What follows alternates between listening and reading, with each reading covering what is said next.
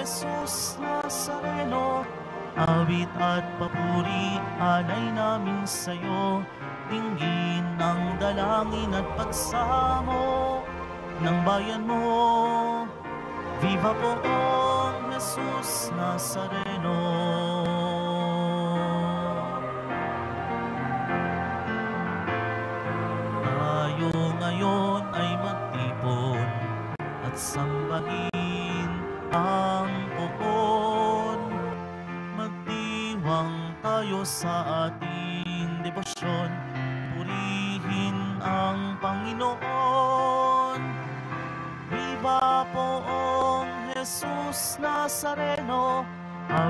At papuri alay namin sa'yo, dinggin ang dalangin at pagsamo ng bayan mo. Viva poong Jesus Nazareno.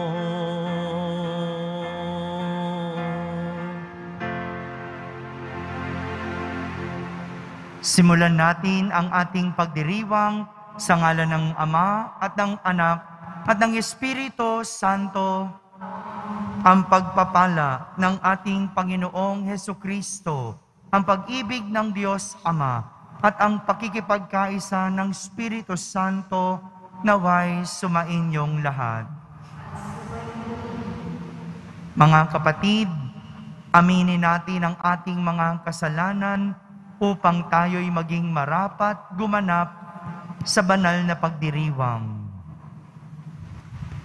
Inaamin ko sa makapangyarihang Diyos sa isip, salita at sandali sa aking pagkukulang. Kaya ay sinasama ko sa aking Bukod Maria. At sa inyong kapatid, na ako'y panalangin sa Panginoon. Kaawan tayo na makapangyarihang Diyos, patawarin tayo sa ating mga kasalanan at patnubayan tayo sa buhay na walang hanggan. Panginoon, kaawaan mo kami. Kristo, kaawaan mo kami. Panginoon, kaawaan mo kami.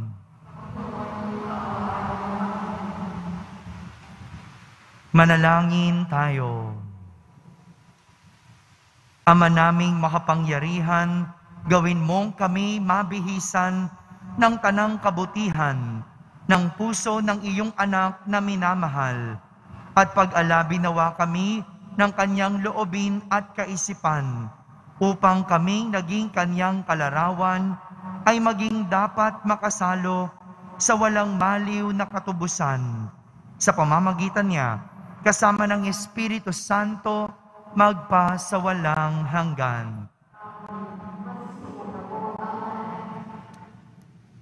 Pagbasa mula sa aklat ni Sira. Si David ay hinirang sa lahat ng kalalakihan sa Israel. Parang taba na inihiwalay sa handog na inaaalay. Pinaglaruan lamang niya ang leon na wari bisirong kambing at ang mga oso na wari maliliit na tupa.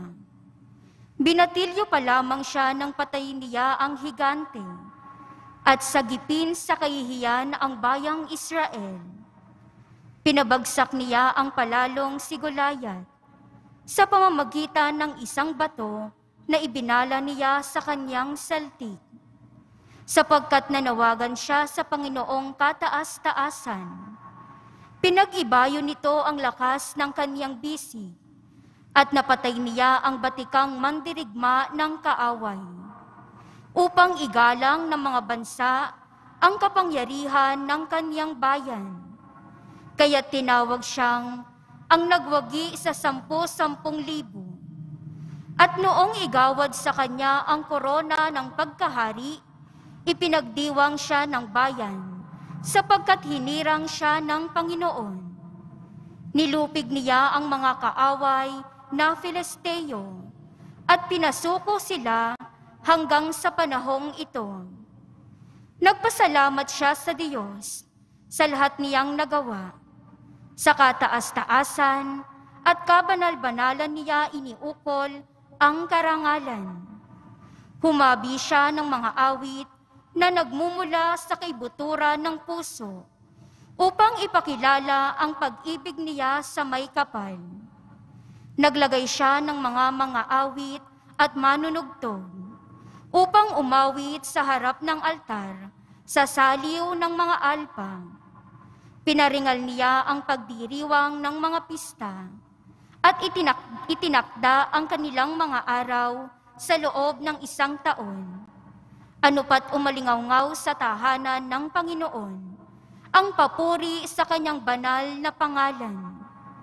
Mula sa pagbukang liwayway hanggang sa paglubog ng araw, pinatawad siya ng Panginoon sa kanyang mga kasalanan at ibinigay sa kanya ang kapangyarihan magpakailanman. Iginawad sa kanya ang korona ng pagkahari at ipinangako sa kanyang angkan ang trono ng Israel. Ang salita ng Diyos. Salamat sa Diyos. Purihin ang Diyos ng lahat. Siya'y aking tagapagligtas. Purihin ang Diyos ng lahat. Siya'y aking tagapagligtas. Ang Diyos na ito ay ganap ang gawa at maaasahan ang kanyang salita. Siya ay kalasag ng mayroong nasang at naghahanap ng kanyang kalinga. Purihin ang Diyos ng lahat. Siya'y aking tagapagligtas. Panginooy buhay, siya'y tagapagligtas. Matibay kong muog, purihin ng lahat. Kaya pupurihin kita't aawitan. Sa lahat ng bansa nitong daigdigan, ako ay aawit sa iyong harapan. Purihin ang Diyos ng lahat. Siya'y aking tagapagligtas. Sa piniling hari, dakilang tagumpay. Ang kaloob ng Diyos sa kanyang hinirang. Ang pag-ibig niya'y walang katapusan. Kay David at lahat niyang mga angkan. Purihin ang Diyos ng lahat. Siya'y aking tagapagligtas. Magsitayo po ang lahat.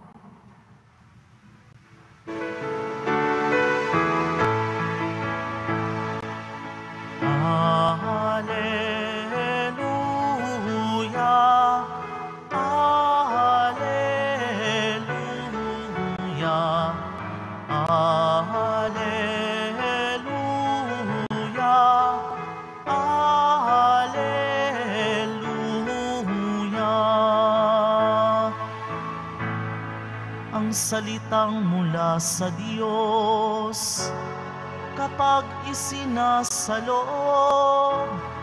ay mamumunga ng lubos.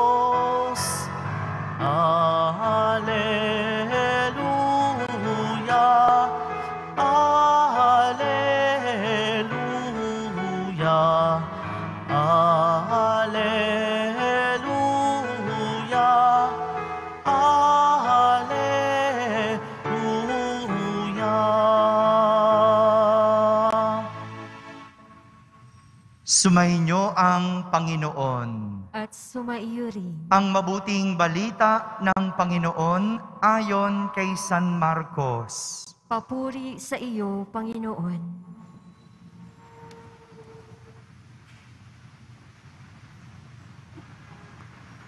Noong panahong iyon, nakarating kay Haring Herodes ang balita tungkol kay Jesus sapagkat bantog na bantog na ang pangalan nito. May nagsasabi, siya'y si Juan Bautista na muling binuhay. Kaya nakahagawa siya ng mga himala may nagsasabi namang siya'y si Elias. Siya'y propeta, katulad ng mga propeta noong una, anang iba pa. Sinabi naman ni Herodes nang mabalitaan niya ito, muling nabuhay si Juan na pinapugutan ko. Si Herodes ang nagpahuli nagpagapos at nagpabilanggo kay Juan dahil kay Herodias. Ang babaeng ito'y asawa ni Felipe, na kapatid ni Herodes, ngunit kinakasama niya. Laging sinasabi sa kanya ni Juan, hindi matuwid na kunin ninyo ang asawa ng inyong kapatid. Kaya't si Herodias ay nagkimkim ng galit kay Juan. Hinangad niyang ipapatay ito, ngunit hindi niya magawa sapagkat natatakot si Herodes kay Juan. Alam niyang ito'y taong matuwid at banal, kaya't ipinagsasanggalang niya. Gustong gusto niyang makinig kay Juan, bagamat labis siyang nababagabag sa mga sinasabi nito. Sa wakas ay nagkaroon ng pagkakataon si Herodias ng anyayahan ni Herodes sa kanyang kaarawan ang kanyang mga kagawad, mga pinuno ng hukbo, at ang mga pangunahing mamamayan ng Galilea. Pumasok ang anak na babae ni Herodias at nagsayaw. Labis na nasiyahan si Herodes at ang mga panauhin. Kaya't sinabi ng hari sa dalaga, Hingin mo sa akin ang anumang ibig mo at ibibigay ko sa iyo. At naisumpa pa niyang ibibigay kahit ang kalahati ng kanyang kaharian kung ito ang hihilingin. Lumabas ang dalaga at tinanong ang kanyang ina, Ano ang hihilingin ko? Ang ulo ni Juan Bautista, sagot ng ina. Dali-daling nagbalik ang dalaga sa kinaroroonan ng hari. Ang ibig ko po'y ibigay ninyo sa akin ngayon din sa isang pinggan ang ulo ni Juan Bautista. Sabi niya, labis na nalungkot ang hari, ngunit dahil sa kanyang sumpa na narinig ng kanyang mga panauhin, hindi niya matanggihan ang dalaga. Kaagad niyang iniutos sa isang bantay na dalhin sa kanya ang ulo ni Juan. Sumunod ang bantay at pinapugutan si Juan sa bilangguan. Inilagay ang ulo sa isang pinggan at ibinigay sa dalaga. Ibinigay naman iyon ng dalaga sa kanyang ina. Nang mabalitaan ito ng mga alagad ni Juan, kinuha nila ang kanyang bangkay at inilibing. Mga kapatid, ang mabuting balita ng Panginoon. Pinupuri ka namin, Panginoong Heso Kristo. Magsiupo po ang lahat. Isang magandang araw po sa inyong lahat. Unang biyernes ng buwan, araw ng poong Yesus Nazareno. Palakpakan muna natin ang ating mahal na Senyor. Dalawang kwento ng hari at ng kanilang paghahari ang ating narinig mula sa pagbasa natin para sa araw na ito. Pagkukumparahin natin ang dalawang hari at magandang tignan natin ang ating mga sarili kung sino tayo sa dalawa. Simulan po natin sa ating unang pagbasa. Binuod ng aklat ni Sirach ang kwento ng paghahari ni Haring David. Sino po yung unang hari? Sino po? Ayaw akong tingnan ni ko, tatay. Sino? Haring David. Yan, very good. Ha? Ang unang hari ay si Haring David. Bago pa siya hinirang na maging hari, si Haring David ay isang matapat at masunurin sa Diyos. Kaya naman, ito po ang naging dahilan ng kanyang paghirang bilang hari. Masunurin at matapat sa Diyos. Sa sobrang tapat niya sa Diyos, naging matapat din ang Diyos sa kanya. Kaya naman, ang lahat ng gera, ang lahat ng laban, ang lahat ng pagsubok na kanyang hinarap, ay naipanalo niya. Kahit nga ang higanteng si Goliath, kanyang tinalo. Hindi lang dahil sa kanyang sariling lakas, kundi higit sa lahat, dahil sa tulong ng Panginoon. Yung pagiging tapat ni Haring David ay nagbunga rin ng katapatan ng Diyos sa kanyang pangako na hindi niya pababayaan ang kanyang bayan. Ngunit kahit anong bait ni Haring David, siya ay nagkasala. Siya ay nahulog sa tukso at kanyang sinipingan ang hindi niya asawa. Nabuntis niya ang asawa ng kanyang sundalo na si Urias. Na sa huli, para pagtakpan ang kanyang pagkakamali, para pagtakpan ang kanyang nagawang kasalanan, ipinadala niya si Urias sa isang matinding gera at doon hinayaan niya itong mamatay. Inasawa niya ang hindi niya asawa. Dahil sa pagkakasala, nasira ang paghahari ni Haring David.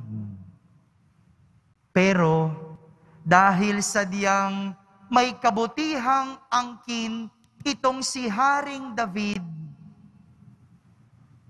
siya ay humingi ng tawad sa Panginoon. Tinanggap niya ang kanyang nagawang kasalanan. Inamin niya ang kanyang nagawang mali at humingi ng tawad sa Panginoon. Samantala, sa ating ebanghelyo, kwento naman ni Haring Herodes ang ating narinig. Sino po yung pangalawang hari? Haring Herodes. Yung una? Ayun, very good. Si Haring Herodes naman ay isang magiting na hari. Masasabi kong siya rin ay mabuti sapagkat hilig niya na makinig sa mga pangaral ni Juan Bautista. Kahit na siya ay nababagabag, kahit na siya ay natatamaan sa mga pangaral ni Juan Bautista. Dahil ang madalas sabihin ni Juan Bautista, hindi matuwid na asawahin mo ang asawa ng kapatid mo. Si Haring Herodes, inasawa ang asawa ng kanyang kapatid na si Felipe. Sa halip na pakinggan ang mga pangaral ni Juan Bautista, napagtakpan niya ito sa pamamagitan ng pag-uutos na pugutan ang taong nagtuturo sa kanila ng tama. Kahit alam ni Haring Herodes na mali ang pumatay, ginawa niya ito. Sinunod niya ito. Dahil sa pagkakasala, nasira ang kanyang paghahari. Pero ang masakit, hindi na nga humingi ng tawad, pinagtakpan pa ito sa pamamagitan ng pagpatay sa nagtuturo at nagsasabi ng totoo. Pinapatay ang nagtuturo at ang nagsasabi ng totoo. Sa dalawang kwento, kanino malapit ang ating kwento? Sa dalawang karakter, kanino tayo maikukumpara? Lahat naman po tayo nagkakamali. Lahat tayo nagkakasala gaya ng dalawang hari. Ngunit isa sa kanila marunong humingi ng tawad. Ang isa naman marunong magtakip ng kasalanan. Ang isa marunong tumanggap ng pagkakamali at ang isa naman kinakalaban pa ang tama. Hindi ba pamilyar ang kwentong ito? Yung kung sino pa ang nagkamali, siya pa yung tila victim. Kung sino pa ang nagkasala, siya pa ang umaarteng nakakaawa. Hindi na nga humingi ng tawad, pinangangatwiranan pa ang nagawang kasalanan. Nakakatakot. Nakakatakot magkaroon ng ganitong klaseng hari. Pero ang mas nakakatakot, kung magiging ganito din tayo. Yung nagkamali at hindi marunong humingi ng tawad. Yung nagkamali pero hindi marunong itama ang pagkakamali. At ang masakit, pinapangatwiranan pa ito. Nakakatakot. Minsan na tayong nagkamali. Minsan na tayong nakagawa ng mali. Huwag na sana nating ulitin. May pagkakataon tayong itama. Pero wag lang basta-basta itama. Kailangan humingi rin ng tawad. Malinaw kung ano ang nais ituro sa atin ng ating mga pagbasa. Pero malalaman lang natin ang tunay na aral kung makikita natin kung sino tayo sa dalawang hari. Ako ba ang haring nagkamali at humingi ng tawad? O ako ang haring nagkamali pero pinagtakpan ang kasalanan? Amen? Amen.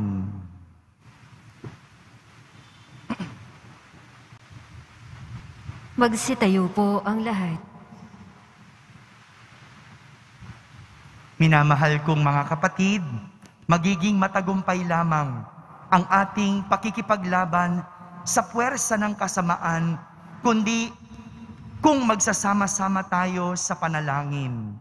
Ating sambitin sa bawat panalangin, Panginoon, lumakad nawa kami lagi sa katotohanan.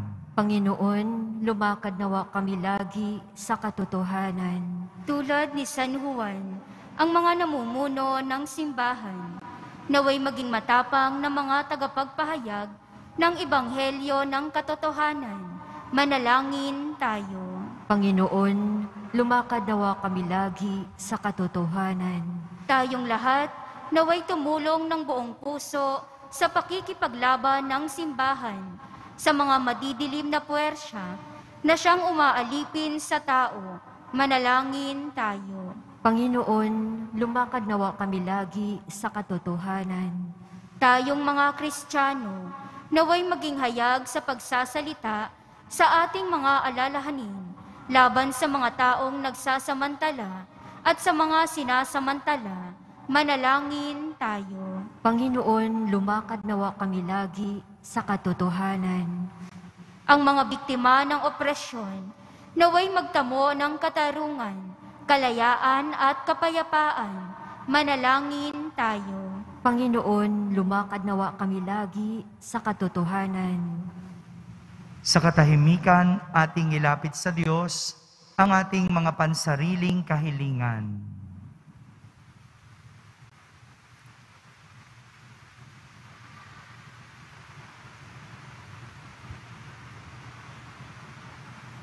Manalangin tayo. Panginoon, lumakad nawa kami lagi sa katotohanan.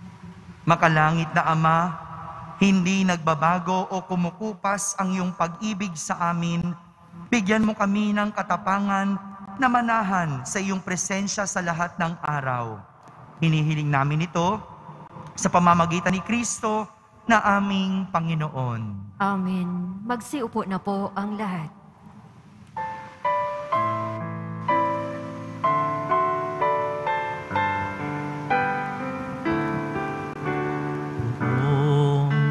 Jesus Nazareno, naririto kami sa harap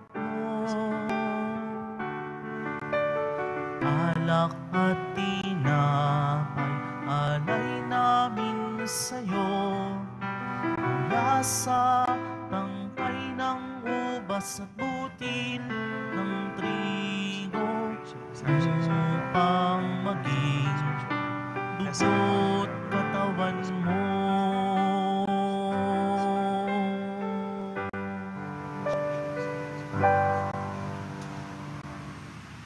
Magsitayo po ang lahat. Manalangin kayo mga kapatid upang ang paghahain natin ay kalugdan ng Diyos amang makapangyarihan. Tanggapin nawa ng Panginoon itong paghahain sa iyong mga kamay, sa kapurihan niya at karangalan, sa ating kapakinabangan at sa buong sambayanan niyang banal. Ama naming lumikha, ikaw ay puspos ng awa at ng pag-ibig sa tanan at dahil sa iyong pag-ibig na nag-uumapaw, ibinigay mo sa amin ang bugtong mong anak na pinakamamahal. Ipagkalob mong kami makaisa niyang lubusan upang ang pagsamba sa iyo'y marapat naming may alay. Sa pamamagitan niya, kasama ng Espiritu Santo, magpa sa walang hanggan. Amen. Sumainyo ang Panginoon. At sumaiyo rin. Itaas sa Diyos ang inyong puso at diwa. Itinaas na namin sa Panginoon. Pasalamatan natin ang Panginoong ating Diyos. Marapat na siya ay pasalamatan. Ama naming makapangyarihan, tunay ngang marapat na ikaw ay aming pasalamatan sa pamamagitan ni Yeso Kristo na aming Panginoon. Dakilang pag-ibig niya ay ang nagbunsod na maghain ng sarili ng kami matubos, kaya't itinampok siyang nakabayubay sa krus. Mula sa kanyang tagilirang sinibat, dugot tubig ay masaganang dumanak, kaya't sambayanan mo'y dito na banaag. Ito'y ang sangkatauhang naakit sa puso ng iyong anak na sumasagip sa mga dumudulog sa batis ng kanyang pag-ibig. Kaya kaysa ng mga anghel na nagsisiawit ng papuri sa iyo nang walang humpay sa kalangitan, kami nagbubunyi sa iyong kadakilaan.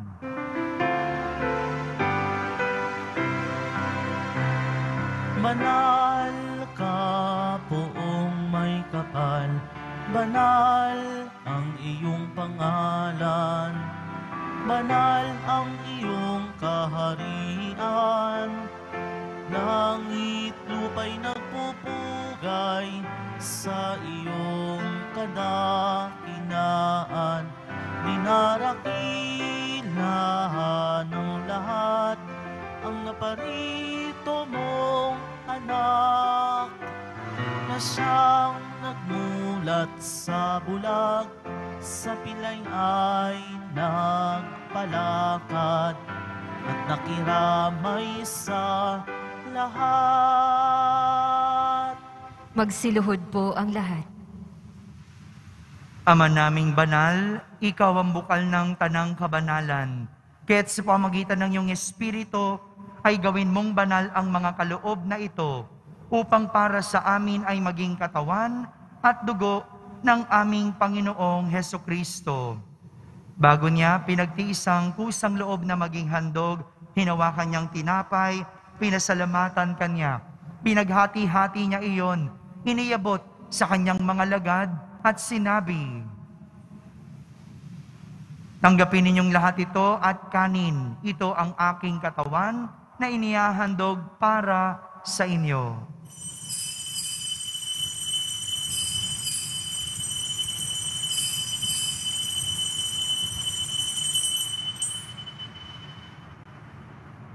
Kaya hindi naman nung matapos ang hapunan, hinawakan niyang kalis, muli kanyang pinasalamatan. Iniabot niya ang kalis sa kanyang mga alagad at sinabi, Tanggapin ninyong lahat ito at inumin. Ito ang kalis ng aking dugo, ng bago at walang hanggang tipan. Ang aking dugo na ibubuhos para sa inyo at para sa lahat, sa ikapagpapatawad ng mga kasalanan.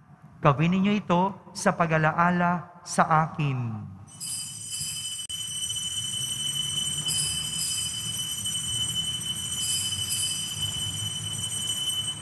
Magsitayo po ang lahat. Ipagbunyi natin ang misteryo ng pananampalataya. Si Kristo ay gunitain, sarili ay inihain. Bilang pagkait inumin, pinagsasaluhan natin hanggang sa siya'y dumating. Ama, ginagawa namin ngayon ang pag-alaala sa pagkamatay at muling pagkabuhay ng iyong anak. Kaya't inaalay namin sa iyo ang tinapay na nagbibigay buhay at ang kalis na nagkakaloob ng kaligtasan. Kami nagpapasalamat dahil kami iyong minarapat na tumayo sa harap mo para maglingkod sa iyo. Isinasamo namin kaming magsasalo-salo sa katawan at dugo ni Kristo ay mabuklod sa pagkakaisa sa pamamagitan ng Espiritu Santo.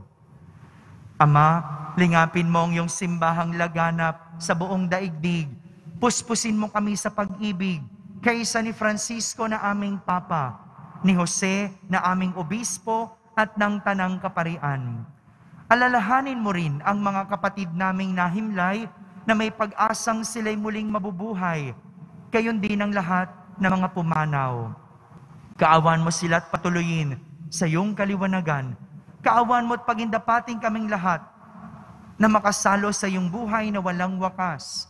Kaisa na mahal na Birheng Maria na ina ng Diyos, ng kabiyak ng puso niyang si San Jose, kaysa ng mga apostol ni San Juan Bautista at ng lahat ng mga banal na namuhay dito sa daigdig ng kalugod-lugod sa iyo.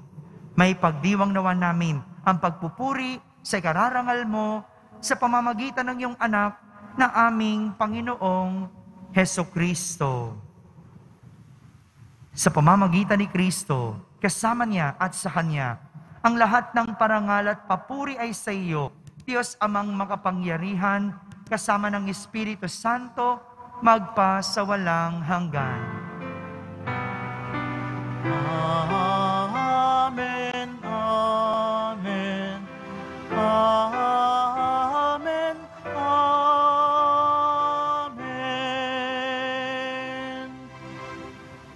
Sa tagubilin ng mga nakahagaling na utos at turo ni Jesus na Panginoon natin at Diyos, ipahayag natin ng lakas loob. Ama namin, sumasalangit ka, Sambahin ang ngalan mo, mapasa amin ang kaharian mo, sundin ng loob mo dito sa lupa para nang sa langit. Bigyan mo kami ngayon ng aming kakanin sa araw-araw at patawarin mo kami sa aming mga sala para ng pagpapatawad namin sa nagkakasala sa amin. At huwag mo kaming ipahintulot sa tukso at iadya mo kami sa lahat ng masama. hinihiling namin kami iadya sa lahat ng masama pagkaloban ng kapayapaan araw-araw, iligtas sa kasalanan at ilayo sa lahat ng kapahamakan. Samantalang aming pinananabikan ang dakilang araw ng pagpapahayag ng tagapagligtas naming si Heso Kristo. Sapagkat iyo ang kaharian at ang kapangyarihan at ang kapurihan magpakailanman. Amen. Panginoong Heso Kristo, sinabi mo sa iyong mga apostol, kapayapaan ang iniiwan ko sa inyo. Ang aking kapayapaan ang ibinibigay ko sa inyo. Tunghayan mo ang aming pananampalataya at huwag ang aming pagkakasala.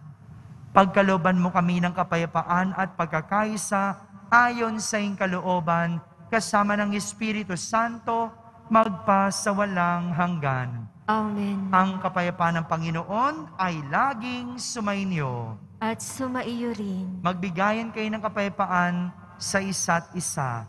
Kapayapaan po para sa lahat. Kordero ng Diyos na nag-aalis ng mga kasalanan ng sanlibutan, maawa ka sa amin. Kordero ng Diyos na nag-aalis ng mga kasalanan ng sanlibutan, maawa ka sa amin. Kordero ng Diyos na nag-aalis ng mga kasalanan ng sanlibutan, ipagkaloob mo sa amin ang kapayapaan. Magsiluhod po ang lahat.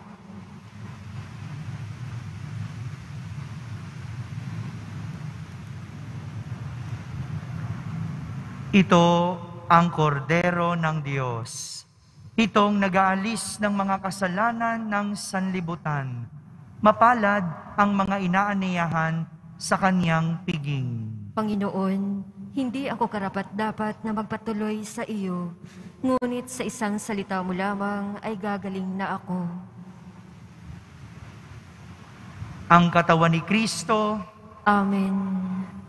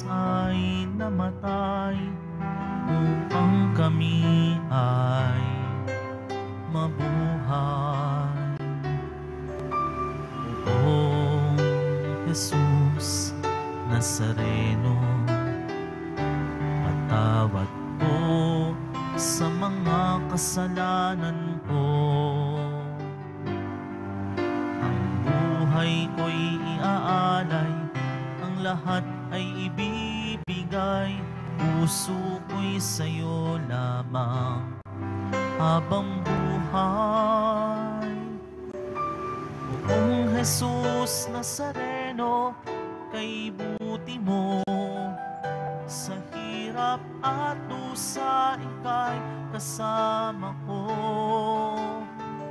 Ang samo ko't dasal sana'y pakinggan mo. Nang mapawi ng mga paghihirap ko. Poong Jesus Nazareno, salamat po. Ang iyong pagmamahal ay nadarama ko. Ngayon at magpakailanman, ika'y pupurihin ko. Mahal na poong Jesus Nazareno.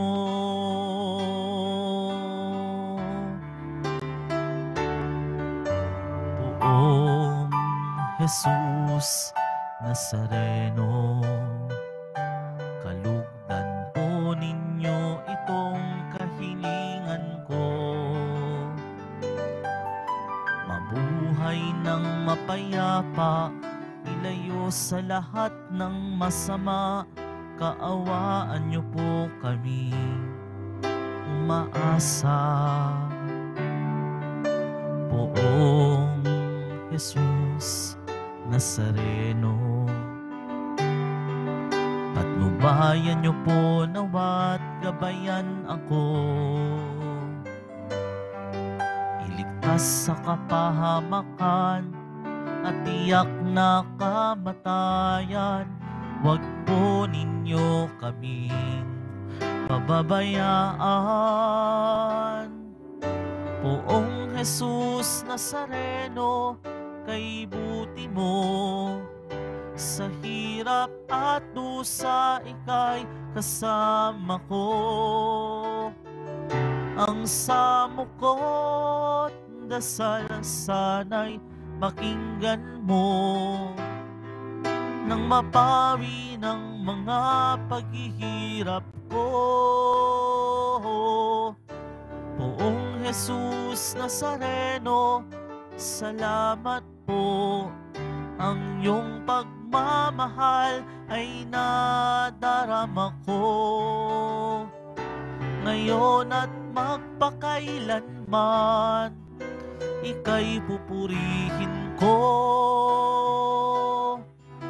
Mahal na poong Jesus Nazareno. Iyo po ang lahat. Manalangin tayo. Ama naming mapagmahal, kami nagsalo-salo sa iyong piging na pag-ibig na banal, ay nagmamakaawang iyong pagbigyan upang si Kristo ay makalarawan sa lupang ibabaw at maging marapat na makatambal makatambal siya sa kalangitan. Sa pamamagitan niya, kasama ng Espiritu Santo, magpa sa walang hanggan. Amen. Panalangin kay San Roque. Ating ipagdasal ang lahat ng mga may sakit at nahihirapan ngayong pandemic. Pagdasal po natin ang buong mundo, ang ating bansa, at higit sa lahat, ang ating pamahalaan. O pinagpalang San Roque, pintakasi ng mga may karamdaman, lingapin mo po ang aming mga kapatid na nasa banig ng karamdaman. Ang iyong pamamagitan ay sadyang makapangyarihan na nung ikay narito pa sa daigdig, marami ang gumaling dahil sa pag-antanda mo sa kanila ng kamahal-mahalang krus. Ngayong ikay niluluwalhati na dyan sa langit, nananalig kaming ang iyong pamamagitan ay lubhang magaling. Ialay mo po sa Panginoong Diyos yaring aming mga hinaing at sa tulong po ninyo ay makamit ang kagalingan ng aming kaluluwa at katawan. Pakundangan sa mga hirap at sakit ng Panginoong Heso Kristo at iyo pong mga panalangin. Amen. Senyor San Roque, ipanalangin mo po kami upang kami maiadya sa salot ng COVID-19 at sa mga karamdaman ng katawan at kaluluwa. Senyor San Roque, ipanalangin mo po kami upang kami maiadya sa salot ng COVID-19 at sa mga karamdaman ng katawan at kaluluwa. Senyor San Roque, ipanalangin mo po kami upang kami maiadya sa salot ng COVID-19 at sa mga karamdaman ng katawan at kaluluwa. Mga kapatid, ang mali ay mali. Kaya inasawa ang asawa ng iba o kinuha ang material ng iba. Ito ay mali. Kaya dapat hindi ito pinagtatakpan, hindi ito pinangangatwiranan, at hindi ito sinusuportahan. Dahil ang mali, dapat itinatama at ihinihingi ng kapatawaran. Sumainyo ang Panginoon. At sumaiyo rin. Pagbabasbas ng Pong Yesus Nazareno, Itaas po natin ang lahat ng larawan ng poong Yesus Nazareno at larawan ng mahal na ina. Mahal na poong Yesus Nazareno, inihayag mo sa pamamagitan ng krus ang walang maliw na pag-ibig ng Diyos sa sangkatauhan. Pakinggan mo ang kahilingan ng iyong angkan na nagsusumamo sa iyo. Makamtanawan nila ang inyong katugunan at tanggapin ang kasagutan na may utang na loob na tinatanaw. Basbasan din po ninyo ang lahat na may karamdaman, nahihirapan, may mga dalang imahen at dasalan. Sa pamamagitan ng bendesyon na ito, naway maalala nila ang mga pangako nila noon sa binyag na ikaw ang kanilang iibigin at paglilingkuran bilang Panginoon magpa sa walang hanggan. Amen. At pagpalain kayo ng makapangyarihang Diyos, Ama, Anak, at Espiritu Santo. Amen. Tapos na po ang ating pagdiriwang, humayking taglay ang pag-ibig at kapayapaan ng poong Yesus Nazareno. Salamat sa Diyos.